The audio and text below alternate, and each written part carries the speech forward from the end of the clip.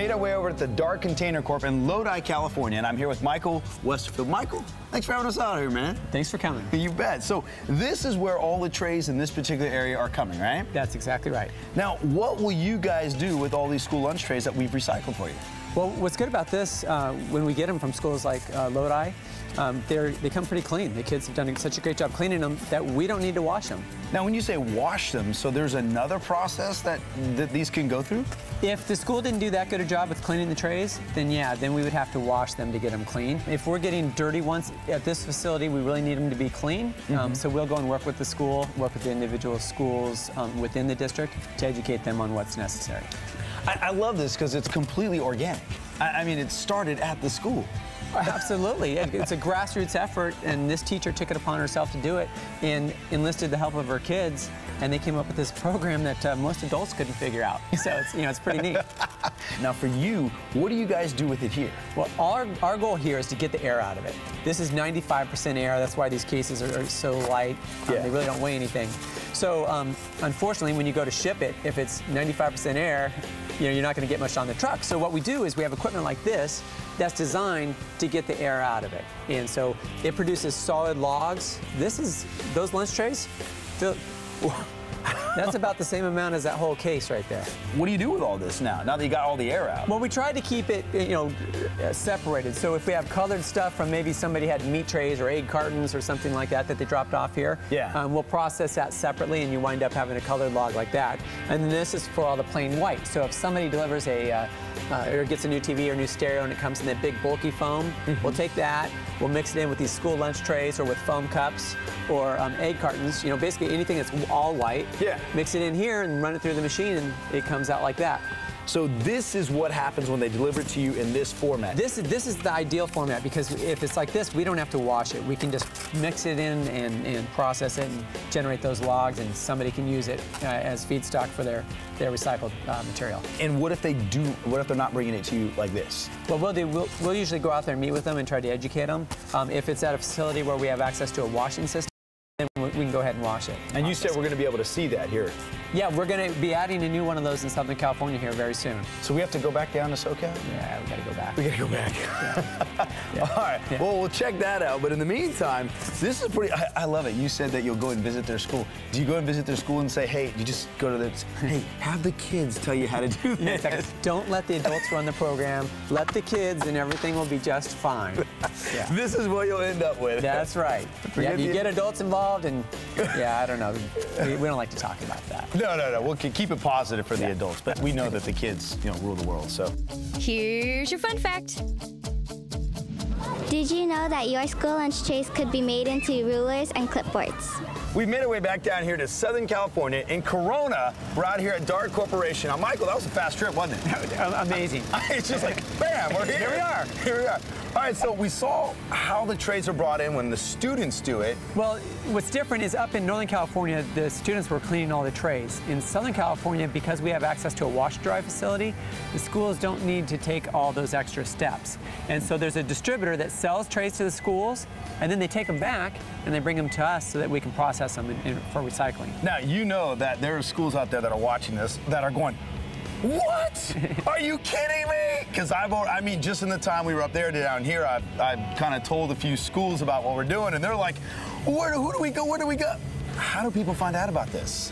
Well, TV shows like yours. you know, we haven't really said much about it, and uh -huh. you know we're getting a lot of phone calls. It's the number one phone call we get is about foam lunch tray recycling, and um, after this show airs, I think we're going to be getting a lot more phone calls. Uh oh. Uh -oh. Yeah. all right. Well, that's cool. So all they have to do is contact you to find out how they can have their school picked up, or all the trays picked up at their schooling, right? Yeah, well, it depends on, on what part of the country and if there's access to a facility. Okay. Um, that's what's nice about this is, you know, DART has a footprint here, we have a wash and dry facility here, and we have a distributor um, that sells the trays that wants to bring them back, you know, and offer wow. the service. So, so there's a lot of things coming together. Okay, all right. So I guess let's put this wash and dry facility. Let's, let's hear what this is all about.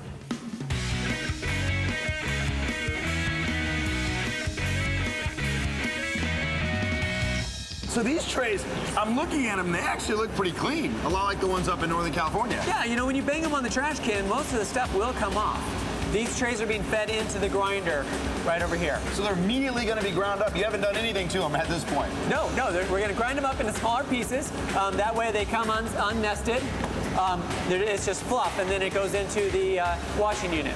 And this is where they go from, you know, dirty trays to clean fluff. So they get ground up, they come in here.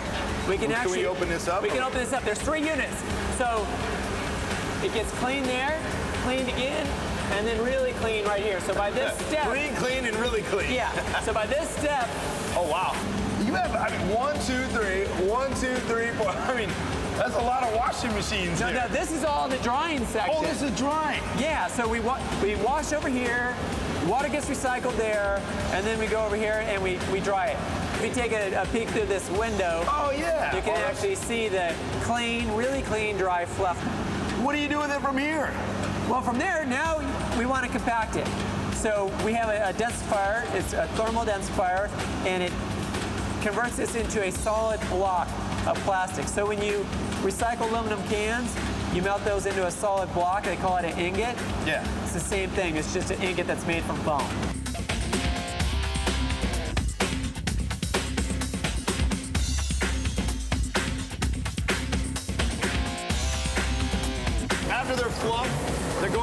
This, what is this called again? An ingot machine. Ingot. Yeah. Ingot machine. All right. And we Making have- taffy. It looks like taffy. Looks- So we fill up this bucket with it, and then it goes over there to the press. We press it down like that. why are we doing this again? So we're doing this so that we can transport it to a recycler efficiently. There you go. Voila. You come over here, Yeah. we have these that they're all dry now. Oh, my And goodness. that's like 40 pounds, Oh, yeah. So these are a lot of trays. 1,500 trays. 1,500 trays right here down to 40 pounds. That's right. So this is going to be transported where? This is going to be transported to a recycler. Um, you'll get the picture later. I get the. Oh, so you're not going to tell me what you're saying? No, but you'll get the you'll get the picture. I get the. Okay.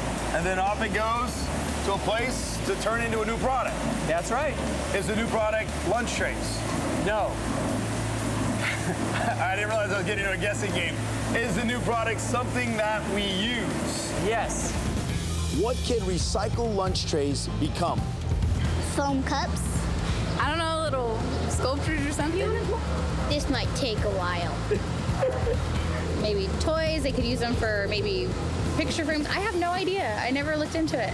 Uh, they could become water bottles or just containers for food. Plastic bottles. anything and everything.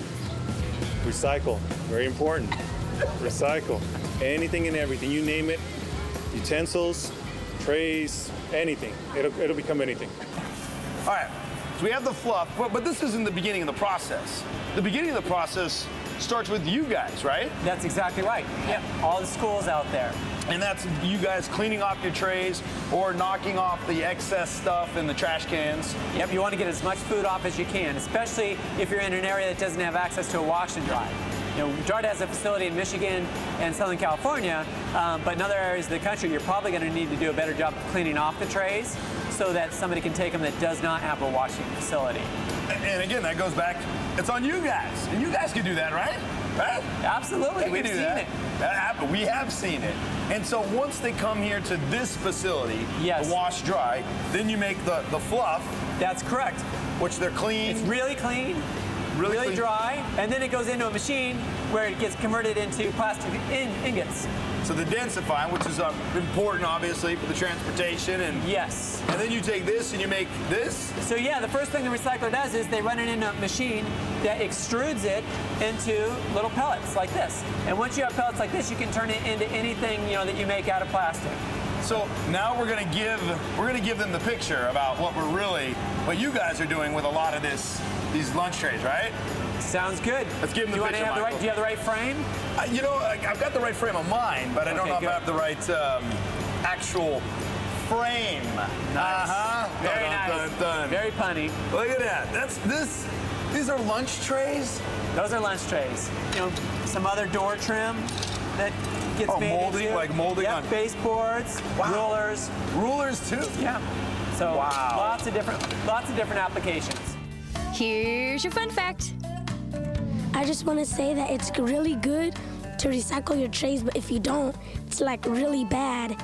And if you recycle, you could be famous just like me. And you could tell your grandkids and everything, yes, I'm the person who recycled the trays, and our school became famous.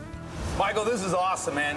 Really appreciate it. Oh, thank you. Thank you for coming out. Hey, we're going to get the word out. Hopefully, everyone across the country, One classroom at a time. one one classroom at a time, is recycling. Appreciate it. Thank thank you, Michael. I want to thank everyone here at DART. And I especially want to thank all the students at Westwood Elementary and, of course, Mrs. Laura Rodriguez for showing us that all it takes is one teacher, one idea, and a lot of dedication to prove that you can truly make a difference in this world. And I especially want to thank you also, Ryan, for sending us on today's Curiosity Quest Goes Green. Now, if there's something that you want to know about, let me hear from you. Go to curiosityquest.org, click on the Send Us on a Quest link, and simply tell me what you're curious about. And it could be you that sends us on our next green adventure. And remember, this is our planet, and it's our responsibility to take care of it. So I wonder, have you gone green? I'm Joel Greene, and I'll see you next time. All right, you know what I've always wanted to do the whole day today? Is I want to take this fluff. I have you guys ever done this before? You walk up to someone and go, "Achoo!" Achoo! Uh-oh, they're, they're mad at I'll clean it up. I'll clean it up. All right, where's the broom? Yeah, I got a broom right here. Get a broom.